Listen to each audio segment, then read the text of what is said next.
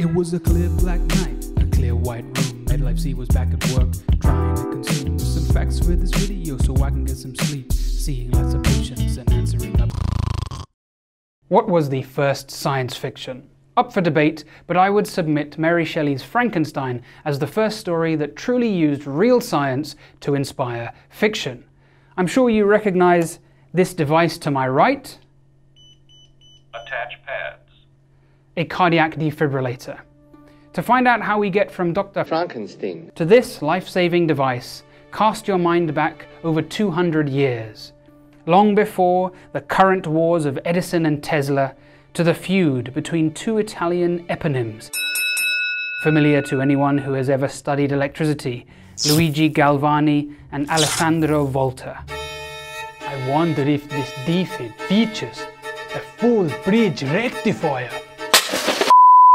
Based in Pavia, Volta, most famous today for having lent his name to the Chevrolet Volt, had already established himself as a world leader in the fascinating and still rather new field of electricity. Meanwhile, in Bologna, Galvani, from whom we get uh, the song Galvanized by the Chemical Brothers, discovered that frogs' legs twitch when electricity is applied to them, or even when in- contact with certain metals. Volta asserted correctly that the electricity came from the metals used in the circuit, and the tasty hors d'oeuvre was merely acting as a conductor, or an electrolyte in this case. But Galvani felt the electricity came from within the animal itself, calling this animal electricity, reflecting our primitive early understanding of electricity's role in life.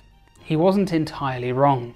He discovered that muscles were actually acting as sensitive detectors of electricity, something that would lead on to the discovery of cellular action potentials. So, as the great men of science tend to do, they got into a flame war, and Galvani enlisted the help of his nephew, Giovanni Aldini. Aldini was obviously an ardent hashtag animal electricity supporter and decided to prove this by demonstrating the medical benefits of electricity. He used Volta's voltaic pile, an early form of battery, to shock corpses and make executed criminals sit volt I mean bolt upright. At Newgate Prison, which used to stand just a few kilometers from where I am now, he applied a current to George Foster, a recently executed murderer.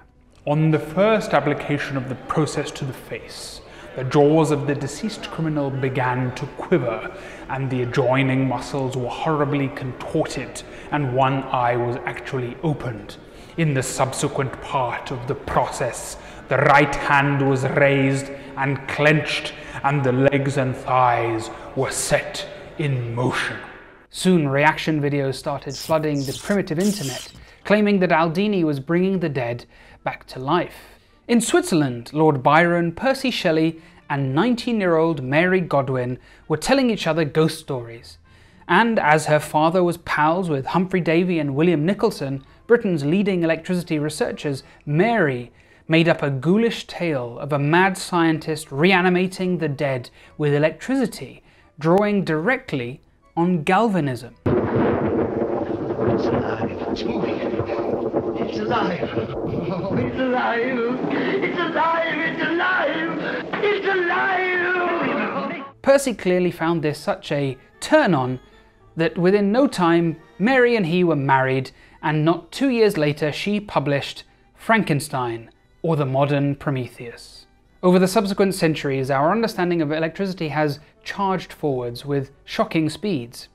We all now learn in school how there are electric currents inside cells, how action potentials move our limbs, and how our brain activity is positively grounded in the science of electricity. But perhaps no organ is as strongly associated with electricity as the heart. Clear.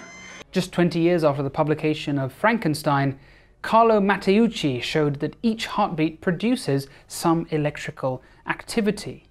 A steady flow of household names in science and medicine Bird, Bence Jones, Addison, Kelvin, Duchenne all played their part in advancing our abilities and our knowledge in electricity. Before, in 1887, Augustus Waller from St Mary's in London published the first electrical heart tracing electrocardiogram or ECG. Side note, why are the points on an ECG labelled PQRST and sometimes U instead of the more logical ABCDE? Willem Einthoven, the Dutch inventor of the first practical ECG, did indeed use ABCD for the four deflections he initially recorded, but later developed a correction formula so had to adopt new letters for the derived deflections and use the second half of the alphabet. And continuing a custom started by Descartes to denote consecutive points on a curve, Einthoven started with P. But so far, even though we now had immeasurably greater comprehension of how electricity affects the heart, we had no way of reliably using it to treat anybody. That was until 1931, when the first pacemaker, a large unwieldy device, was used. 16 years later, surgeon Charles Beck saved a boy's life with two spoons. He had been building on work by William Kouwenhoven, experimenting on animals by putting them into cardiac arrest and then shocking them out until one day a 14 year old boy arrested during an operation. Out of desperation, Beck sent for his research device and successfully used it to defibrillate the boy. Let's hope he uh, cleaned the fur off first. Clear. Clear. Doctor, he's gone. This is the part of the job I hate. Meanwhile, in modern-day Kyrgyzstan, Eskin and Klimov pioneered a new, more powerful defibrillator that would work without the minor inconvenience of having to open up somebody's chest. I had no idea until I researched this video that the USSR had invented a portable defibrillator in 1959. Outside the Soviet Union, the father of emergency medicine, cardiologist Frank Pantridge from Ireland, created the first portable defibrillator in 1965. I say portable, but it was really more of a welterweight. He put it in ambulances and soon the Pantridge plan caught on.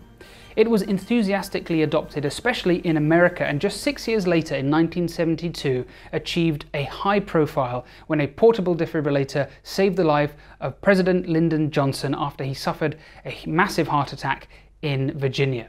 We had now developed options for shocking patients out of lethal cardiac arrest rhythms in emergencies, but we didn't have any solutions for the much more common problem of a heart that just beat too slow. The aforementioned external pacemaker worked for a short-term problem, but many hearts require lifelong pacing and a patient couldn't remain attached to an immobile box. A hero of mine that I've mentioned in a previous video, Walt Lillehei, was operating when a blackout hit Minnesota and he lost his patient because the pacemaker plugged into the mains stopped working. In frustration, he approached Earl Bakken, an electrical engineer with a small company, to try and create something better.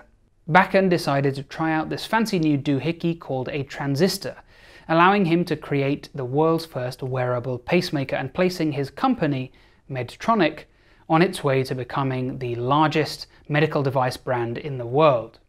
It's easy to forget just how unbelievable it is that in a short space of time we've harnessed the power of electricity to save lives. From the mysterious force that fascinated Galvani and Volta to the present day where something like a pacemaker insertion is so routine it was one of the first skills I learned when I started cardiology training years ago. And this device, now available weighing just a few kilograms, a far cry from Frank Pantridge's huge portable defibrillator has saved countless millions of lives the world over. I use it on a regular basis. In fact, I've already used it this shift, not this particular one, and I'm happy to say with a good result. Decades after inventing the wearable pacemaker, Earl Bakken, then the recipient of two pacemakers himself, would write his memoir explaining how he became fascinated with electricity and its role in creating life. He would pinpoint the exact moment that his interest was piqued to eight years old, watching a movie in the cinema, none other than the 1931 classic horror featuring Boris Karloff, Frankenstein. A doctor, not an engineer. Yes, I'm quite aware that I last studied electricity at school, and even though the focus of this video wasn't how electricity works, I thought I'd brush up my knowledge with Brilliant's daily challenges, because this week, two dealt with that exact topic. Okay, question one. Circuit diagram, okay, 10 volts, what's the voltage across each bulb in parallel? Well, 4 and 4 add up to 8, so is it 2 and 2? No, that, that'll exceed 10, so it must be 1 and 1. Click. Damn it, I mean, I, I mean, that's what I meant to do, it was deliberate to show you that there is a community discussing answers for all the daily quizzes, and people will helpfully explain uh, and answer your questions. It's a really awesome, supportive community. Okay, part two. Let's get back on track. Three bulbs, fine. Uh, remove one bulb. So what's going to happen? Well, let's think. A and B. So I think A and B uh, unaffected. Definitely. Crap. Freaks. Sorry, Medi. Okay, let's get back to basics here. Electricity. Cool, that's it. Classical mechanics. Bingo, let's go for that. Ah, yes! Formula One. Back in familiar territory. That's Monaco. Oh, it, it tells you that. Well, I bet you didn't know that that corner is the Grand Hotel hairpin. Formerly Loews, formerly Fairmont. Well, let's go. Bang. Boom. Kablam. Pow. Shazoo. Confidence restored. Brilliant have been really supportive to me, people. This is my fourth video on the trot that they've sponsored, so please do show them some love. Visit brilliant.org slash medlife and you can sign up entirely for free. But the first 200 people to visit the link will also get 20% off the premium annual rate if you choose to upgrade. So instead of giving me money that I'll just spend on a filthy shish kebab, visit the link and see if you know more about electricity than me. Well, that's my set of nights finished. I'm on my way home. But just to let you guys know that I pay attention to what you say, I took notice of your uh, some of your comments after my Neil deGrasse Tyson video saying that I shouldn't film while driving. I agree with you. I'm not going to do that anymore, especially not after a set of nights like this when I'd be tired. So instead, I'm just going to make videos while I'm on my bike.